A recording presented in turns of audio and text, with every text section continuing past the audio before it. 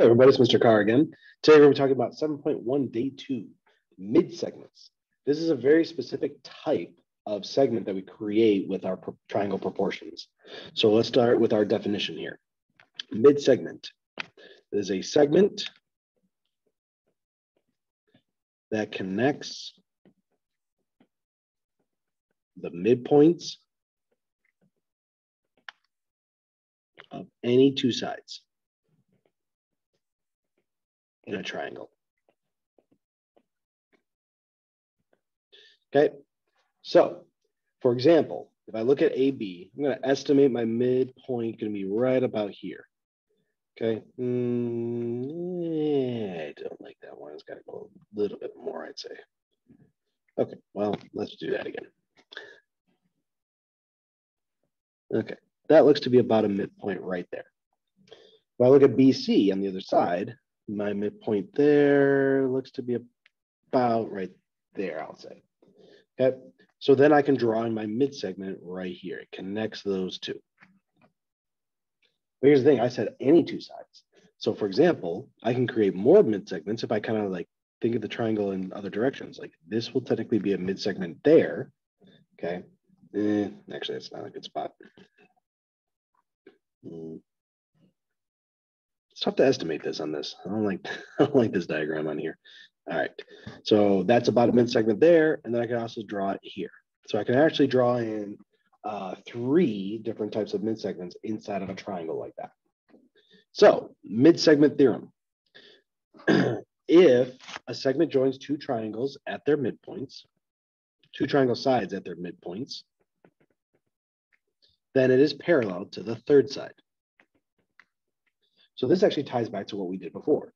So if I know for a fact that I have two midpoints, and I connect them, and one idea that I can show is if I, for me to know that they're midpoints, I can do stuff like this.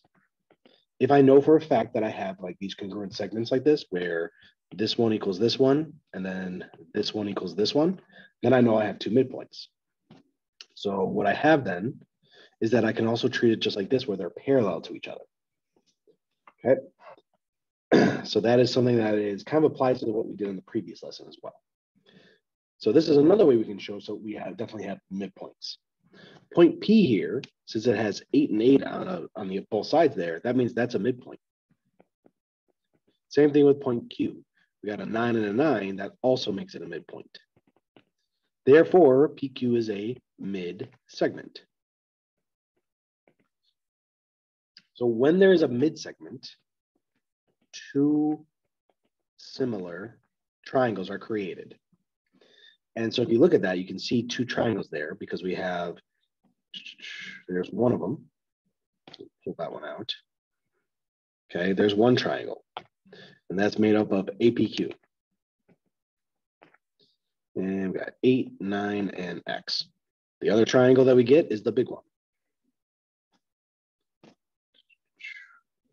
So we got that big one there, and that's made up of ABC. Now the sides, you notice are eight and eight for 16, uh, nine and nine for 18, and BC here is six. So AP divided by AQ is going to be, in this case, eight over nine. Okay, so I'm just doing the eight, whoops. I'm doing the eight divided by nine, AP over AQ. PQ Okay, that's this one right here. So when I look at the diagram, the thing is, I need to make sure that that side matches to that side. So PQ over BC, in this case, is X over 6. The thing is, when I look at that ratio, X over 6, since I have two similar triangles, then I'm going to do this as like 8 over 16 or 9 over 18. Okay, so it doesn't really matter. 8 over 16 uh, or 9 over 18. Okay, all of those are going to be the same because I created these two similar triangles. Well, there's a little bit of a shortcut. I can set these up with, with proportions if I really wanted to, but our mid-segment theorem is going to make it a little bit shorter. If a segment joins two triangles at their midpoints, then its length is one half of the third side's length. So I got the midpoint for AB and midpoint for BC. So I'll draw that in. Okay, so if I call the third side here D, this length here is one half times D. And again, it has to be specifically a midpoint. So some other things we know about that, again, if these are congruent and then these are congruent, I know I have two midpoints. Or I label them with numbers. Okay, so real quick going back up here, I could actually very quickly find X. Since I have a mid segment here, X is just half of six, giving me three. Okay, it offers a really nice shortcut versus having to do my cross multiplication.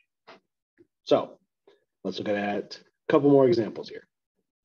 In each triangle, M, N, and P are midpoints of the sides. Name the segment parallel to the given side and state the missing lengths. So we got midpoints here, here, and here. So CD is that one. So it needs to be parallel to one of the mid segments, which in this case is going to be PN.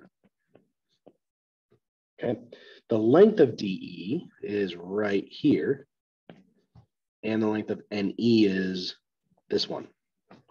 So with a mid segment, we know that the mid segment itself is half of that third side. So if I look at that eight there and I go to the whole thing, if it's the mid segment is half of that third length, that means the third length is two times the mid segment. So I'm coming back up here real fast. So that's the other way I could have gone with this. So let's call it uh, like PQ as well. Okay, so I set that up originally that AC or one half of AC is equal to PQ or two times PQ is equal to AC. So this actually helps as well because if I wanted to go from this direction to this direction, I'd double it. So that's what we can do down here. So we did two times eight is going to give me a 16 there. We also know that the tri or that side of the triangle is split into equal pieces because that's a midpoint. So that means that has to be eight and eight. So we get all those eights in there. All right. Example two, find the length of SR and FD. So we look at this one. Before I jump into any kind of setting up equations or anything, because these can get confusing based on what we've done so far, I'm going to look at the fact that I do have midpoints for R and S. They get the congruent sides on each on each part. That means that the mid segment is SR. So SR is a mid segment. Since it's a mid segment, I have evidence that shows that. That means that SR is equal to one half of DF. So now that I have that, I'm just going to set them up. Okay. Actually, you know, I'm going to change that one. Since SR is a mid segment, I'm actually going to flip that and go the other way with it. I know that DF is equal to two times SR. Personally, I'd rather do this way just because I don't have to deal with a fraction then. So DF is x plus two. And then I got two times SR, which is 2x minus 14. So we'll distribute that so that x plus 2 is equal to 4x minus 28. Uh, let's add 28 to both sides. And then we'll also subtract x to both sides. Those are gone, those are gone. I get 30 is equal to 3x. Then we'll divide by 3 so I get x equals 10. You know what? I should have a little bit more space. So let's do this. I'm just to shift everything over there. The magic of my iPad. Love it. All right, so the length of SR. SR was 2x minus 14. So we're to do 2 times 10 minus 14. I'm just to plug my 10 value back in for both of my x's here. So that means SR is equal to 20 minus 14, which is equal to uh, 6. And then DF or FD, okay, that's going to equal to 10 plus 2, which is going to give me 12. And you notice 6 is half of 12. Good. That's a good, nice little check for myself. I know I did the right thing when I got real numbers there that are, um, oh, just realized missing a G for mid segment. Okay. Okay. Um, my magical thing there. Put a G over, move the G over on that side. That's fun. Um, anyway, sorry. So my mid segment SR is half of the FD 12. So six is half of 12.